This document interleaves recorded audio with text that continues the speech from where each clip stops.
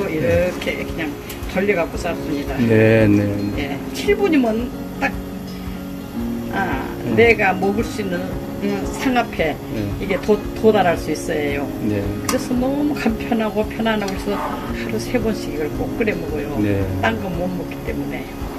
어. 이래가지고 그냥 이대로 좀 놔뒀다가 이렇게 이제 끓면은 끓면은 조금 분리해 놓고 국수 가지고 와서 하여튼 좀 오래 끓여도 꼬들꼬들하고 그러니까 아무렇게나 신경 쓰지 말고 예. 그냥 만 되는 대로 끓여서 먹으면 돼요. 네. 네, 이 국수는 정말 퍼지고 안 퍼지고 그런 거 신경 쓸 필요가 없어.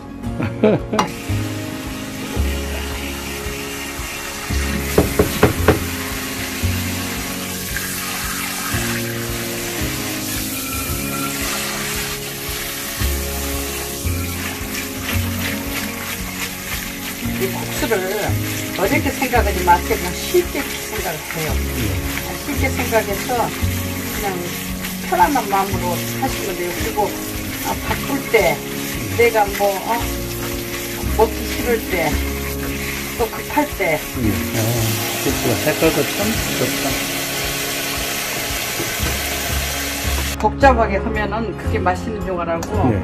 그러지만 더 맛도 없고 네. 그냥 그 맛있는 간장에 아무것도 미원도 것도 아무것도 전혀 넣지 말고 무공예로 네. 네.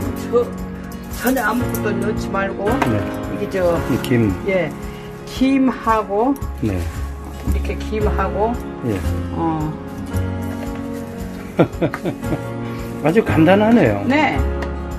그래 답답한 사람 이것저것 넣고 그러지 진짜 그럼 국수 맛이 안 나요.